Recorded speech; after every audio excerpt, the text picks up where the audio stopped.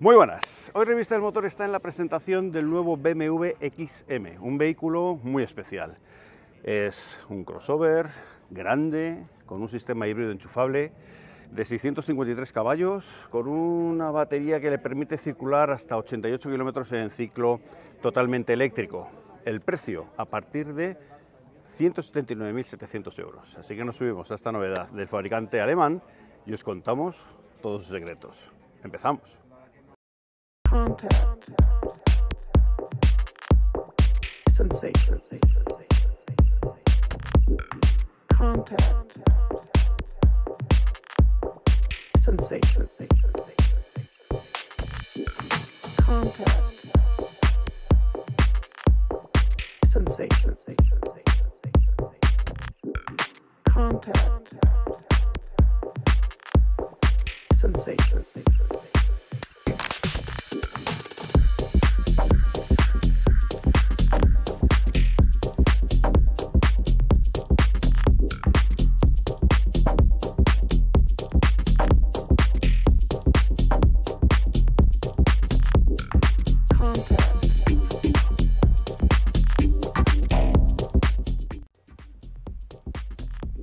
Con los datos generales del BMW XM, que es el primer producto de la edición BMW M que cuenta con un sistema de propulsión electrificado, en concreto con un sistema híbrido enchufable que tiene 653 caballos, 800 Nm de par, con una batería que está en torno a los 25,7 eh, kWh de capacidad neta que se puede cargar hasta un máximo de 7,4 kilovatios en corriente alterna y que nos va a permitir recorrer hasta 88 kilómetros en modo puramente eléctrico según ciclo de homologación WLTP y además es un vehículo con unas prestaciones muy destacadas a pesar de que tiene un peso de 2.785 kilos en orden de marcha. Hablamos de una aceleración de 0 a 100 en 4,3 segundos con una velocidad máxima de 250 km por hora.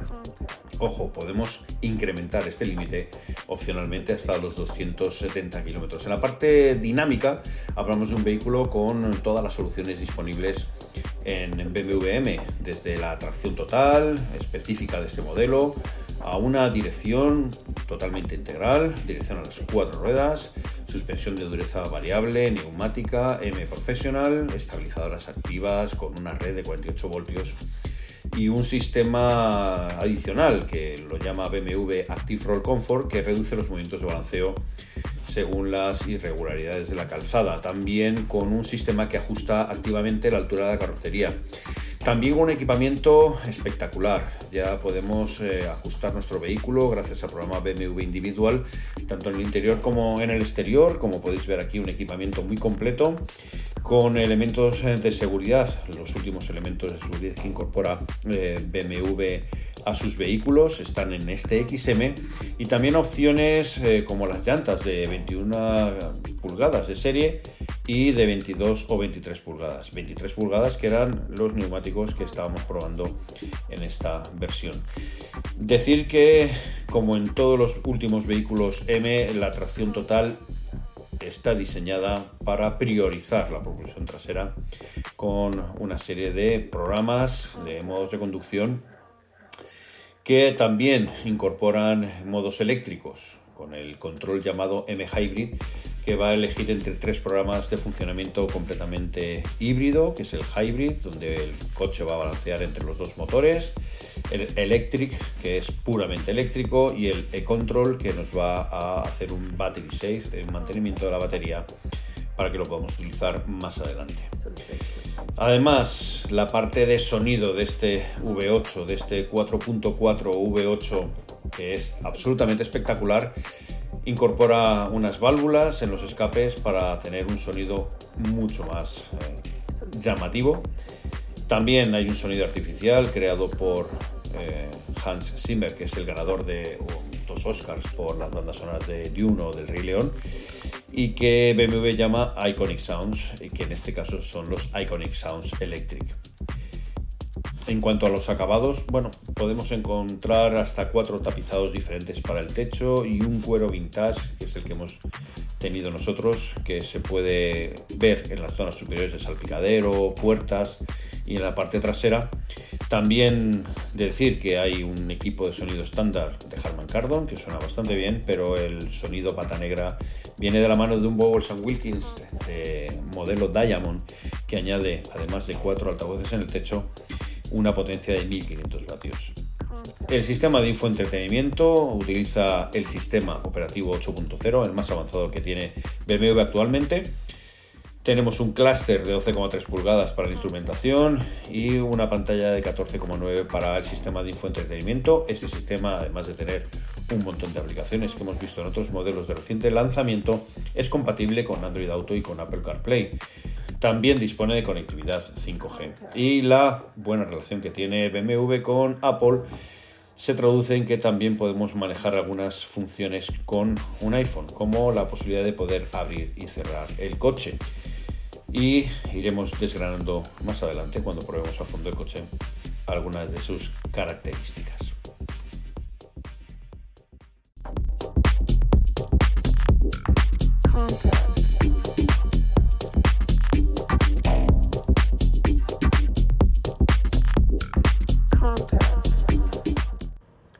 Bueno, pues aquí estamos, interior del nuevo BMW XM con todo su esplendor y con algunas cositas que os voy a enseñar que tienen que ver también con los acabados.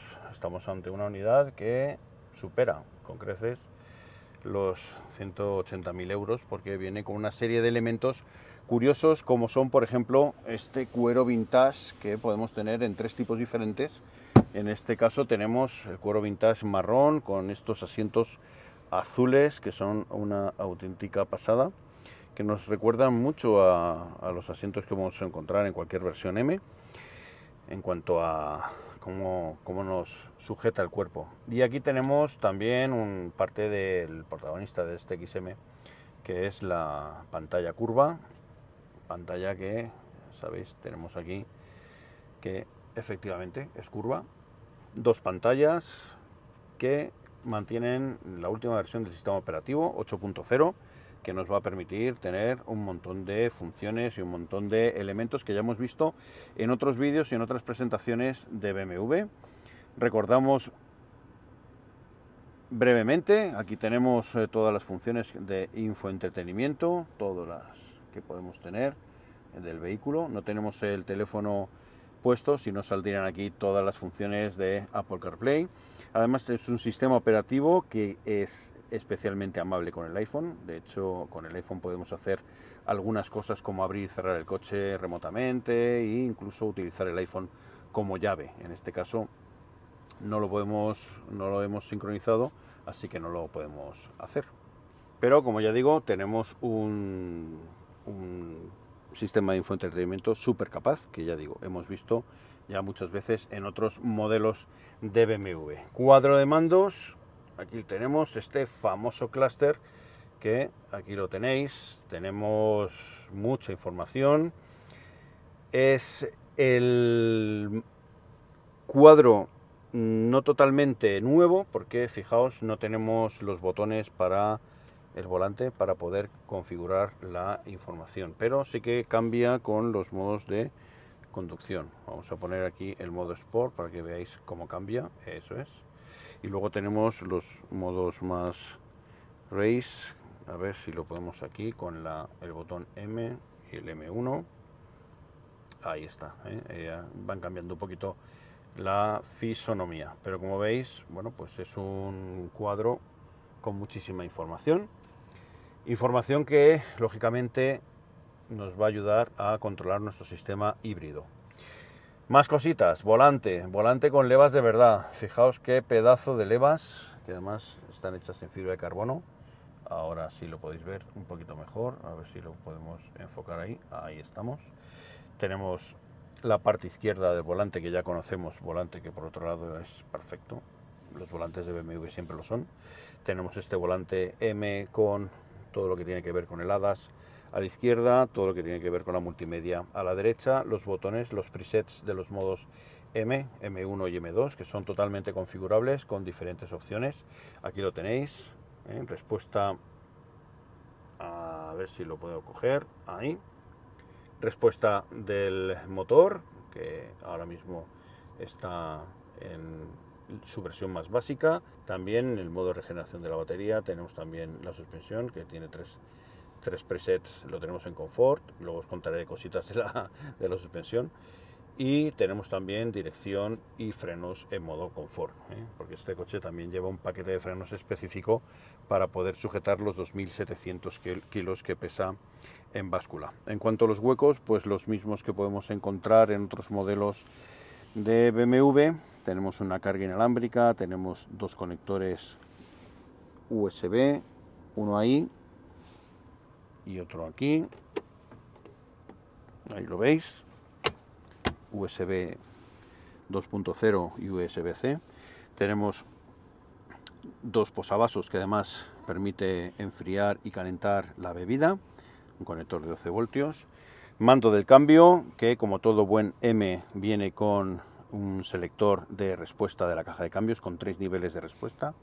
Tenemos aquí también, bueno, pues todo lo que tiene que ver con la desconexión del ESP, tiene que ver también con las cámaras, el control de parking, el setup, ¿eh? ahí lo tenéis, setup de propulsión, recuperación, tren de rodaje, dirección, freno y también del modo MX Drive, porque este coche además lleva un sistema de dirección trasera, pero también lleva un sistema de diferencial trasero. Y aquí las configuraciones tanto de la recuperación, tren de rodaje, dirección, etcétera, etcétera. ¿eh? Veis que además tenemos diferentes modos. Modos también M, los modos M que podemos cambiarlos, ahí lo tenemos, modo Hybrid, Electric o E-Control. Este M-Mode hybrid nos va a balancear entre la carga de la batería y el motor de combustión. El modo electric fuerza el funcionamiento del modo eléctrico y el modo e-control es básicamente un battery safe. ¿eh? Nos va a mantener la batería hasta que, la utilice, hasta que la tengamos que utilizar o queramos utilizarla. Luego tenemos el sonido del escape, el auto hold, freno, y control de descenso. Y este mando HMI que me flipa, porque a pesar de que la pantalla es táctil, también podemos controlar todo desde nuestro mando HMI. Más huequitos. Este hueco, una consola perfecta, fijaos, súper chula. Una guantera tapizada, completamente tapizada, amortiguada, con llave, huecos en las puertas, muy generosos, aquí los veis, y una calidad excelsa en los materiales, ¿eh? ya no solo en el equipamiento, como el sistema de audio Bowers Wilkins, pero fijaos, fijaos qué materiales, fibra de carbono, alcántara, pero además alcántara eh, espectacular, de color marrón, el grosor de los, de los paneles, de los parasoles es alucinante, fijaos, con, con el pespunte. Este techo alucinante, fijaos, con estos prismas y estas formas tridimensionales que son realmente increíbles, con esa luz ambiental que también es alucinante. Un espectáculo, ese es Mario Raiz, que es otro espectáculo. y los asientos que son auténticamente bestiales. Bueno, un primer acercamiento de este coche que, bueno, que lo probaremos más adelante, que podremos sacarle todas las... Bueno, vamos a ver si le podemos sacar toda la, toda la sangre que tiene este bicho. Pero bueno, intentaremos contaros todos los detallitos, que son muchos. Os enseño las plazas traseras y a conducir, que es lo que más importa de este coche. A ver las primeras sensaciones.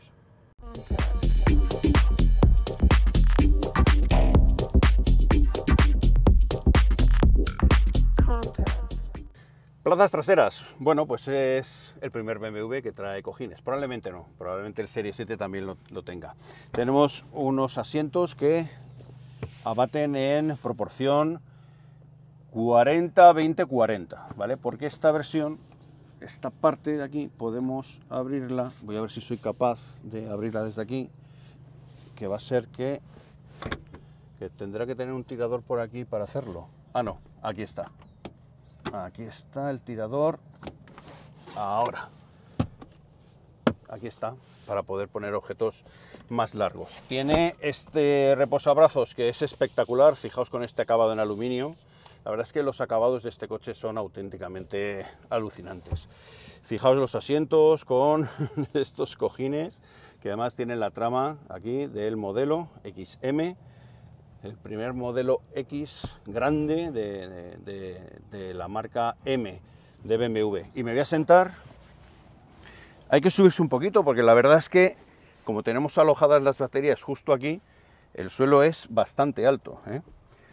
Y aquí podemos ver que tenemos un espacio espectacular. Fijaos en la altura, a pesar de que tenemos un techo y que baja el guarnecido, pero fijaos, yo puedo meter los pies debajo del asiento del conductor, asiento de conductor que está puesto para mi altura, 1,88, y fijaos, yo detrás con otro metro 88 voy absolutamente eh, cómodo. Tengo casi 20 centímetros de distancia con el asiento delantero, es una auténtica pasada. Tenemos unos materiales, ya digo, espectaculares, huecos para dejar eh, lo que queramos aquí en estas, en estas eh, guanteritas que además son elásticas, una consola con control de temperatura, bizona, con dos USB, control de carga de 12 voltios, pequeña guantera y profunda para dejar los móviles ahí que no se muevan.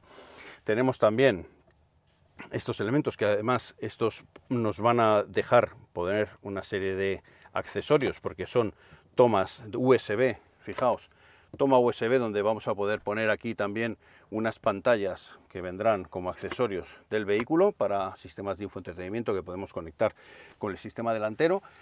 Y el resto todo igual, perchas en el pilar B, salidas de aire en el pilar B que nos van a ofrecer pues mucho más eh, confort climático del que ya tenemos en un coche de estas características y elementos del asiento que fijaos, fijaos qué alto es el respaldo, pero también fijaos en este detalle y es que han puesto el guarnecido justo aquí en este borde que es el que nos va a permitir tener mayor confort, vamos a poder ir más pegados a este lateral para tener un confort bestial. Túnel de transmisión bajito, pasar de una fila a otra, eh, de un asiento a otro, es bastante sencillo y por fin un coche que tiene un asiento de verdad para la plaza del centro, para que no vaya como si fuera en un transportín de emergencia. La verdad es que el espacio también es lujo. Vamos a un maletero y conducimos. Maletero, 530 litros con capacidad para batir hasta los 1827 litros. Aquí tenemos una caja de registro, aquí tenemos otra cajita de registro, aquí lo tenéis, fusibles, la bolsa de los cables, una bolsa muy chula por cierto, con el anagrama en dorado, la verdad es que es una auténtica pasada, está sujeta con una cincha, no, no tiene velcros, no tenemos la posibilidad de poder abrir el suelo y nada más. Este es el maletero con su, con su tapa rígida y poco más.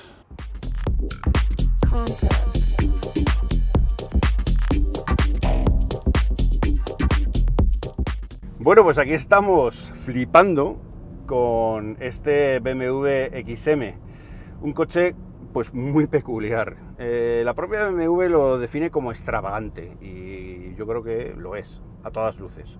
Hablamos de un vehículo eh, grande, muy pesado, más de 2.700 kilos, híbrido enchufable.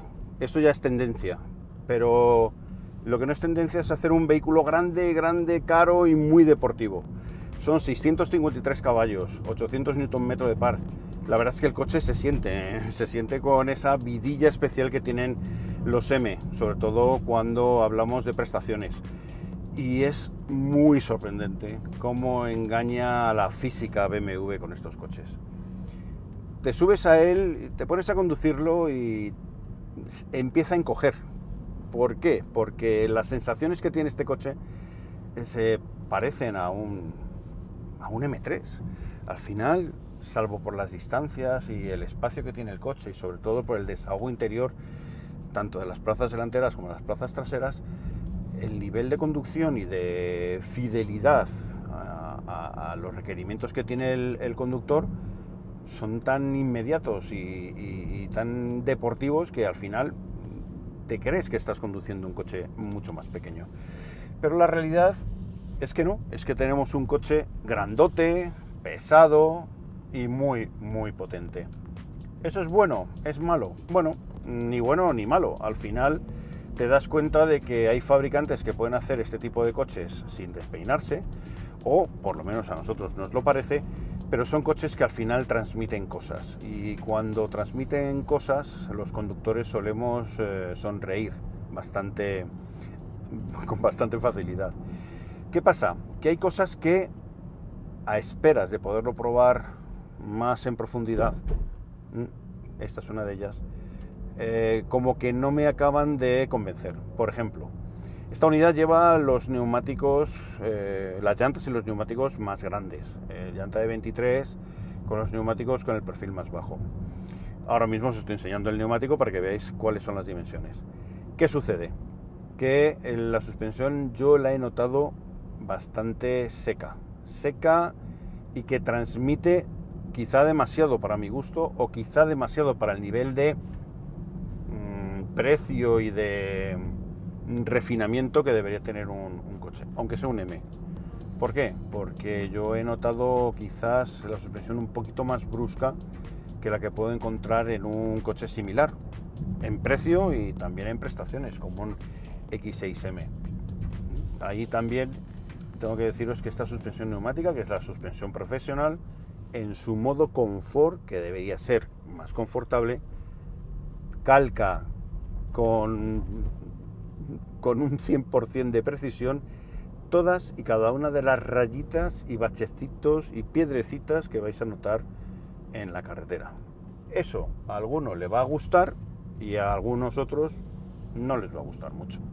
Entonces, quiero que lo sepáis, que salvo cuando lo probemos a fondo durante una semana nos encontremos con otro tipo de coche, este coche, esa característica no nos ha gustado mucho. Pero claro, tener una suspensión tan dura significa que el coche, pues como deportivo, nos ha gustado.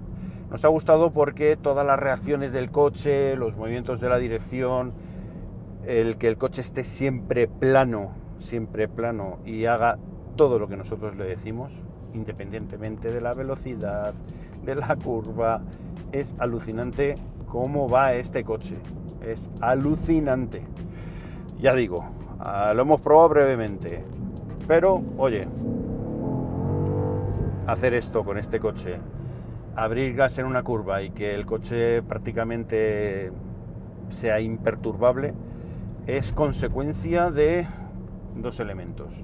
Un sistema de tracción brutal, tracción total, que además está acompañado de un diferencial trasero y con un sistema de dirección trasera que también permite que, nos, que podamos abrir gas, nunca mejor dicho, abrir gas porque llevamos un V8 sin que pase nada, nada relevante más que salir disparados como un misil. La verdad es que eso es una auténtica pasada. Porque claro, la dirección, tenemos una dirección integral, ¿eso qué significa? Tenemos dirección en el eje trasero y en el eje delantero, obviamente. Eso nos va a permitir tener eh, un comportamiento mucho más fino, mucho más definido, en el que podemos orientar el coche como queramos prácticamente, pero también vamos a poder manejar este coche en ciudad con mucha más alegría, sin las dificultades que puede tener un coche que ya por sus dimensiones es absolutamente gigantesco. Pero hace que este coche sea agradable de conducir en el día a día, salvo por la suspensión que ya digo que cuando lo prueba a fondo veremos si esa suspensión es así de seca o solo es esta unidad, por lo que sea. Dicho esto, hablemos del motor. Un motor que nos va a permitir tener una autonomía eléctrica de unos 88 kilómetros, según ciclo homologado eh, WLTP. Eso nos, en la, digamos que en la, la parte más optimista de la autonomía será en ciudad y yendo escrupulosamente a la velocidad que indica la vía. A mí con 27 kilovatios de batería eh, útiles me parece muy optimista, como suelen ser estas cifras, y seguramente tenga que ver con, una utilización escrupulosa, ¿eh? muy escrupulosa. No hemos tenido tiempo a ver si eso es verdad, lo tendremos, pero lo que más impresiona sin duda es la unión de nuestro amado 4.4 V8 con este motor eléctrico que nos va a permitir unas prestaciones más que destacadas. Algunos diréis, eh, ¿preferís este coche a un M5 o a un X5M o a un X6M eh, Competition 625 caballos? Qué buena pregunta. Lo responderé cuando lo pruebe más. Por ahora os diré que gana eh, la combustión.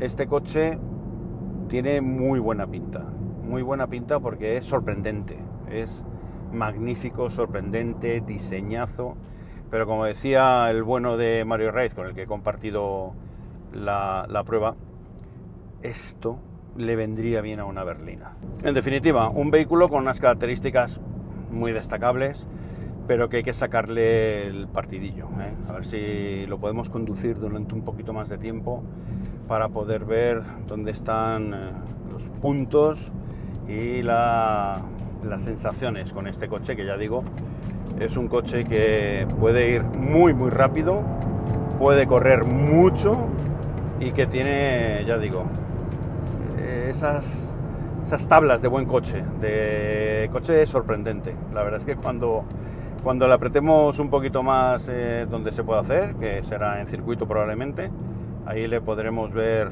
dónde está las sensaciones, cuando abrimos gas a fondo, cuando corremos y tenemos que frenar bien fuerte, ahí podremos ver efectivamente esas características que tanto nos ha destacado BMW y que queremos ver si son ciertas. Pero las primeras sensaciones ya digo que son muy, muy, muy sorprendentes porque el coche va de escándalo.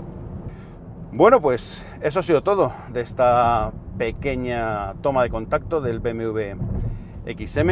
Eh, si os ha gustado el vídeo, por favor, le dais un like. Y si no, bueno, pues intentaré hacerlo mejor la próxima vez. A mí solo me queda desear que estéis todos genial, ¿eh? que estéis con trabajo, con salud, que también lo esté en vuestra familia, amigos y allegados, y que nos sigamos viendo pues por aquí, en vuestra casa, en Revista del Motor. Hasta la próxima.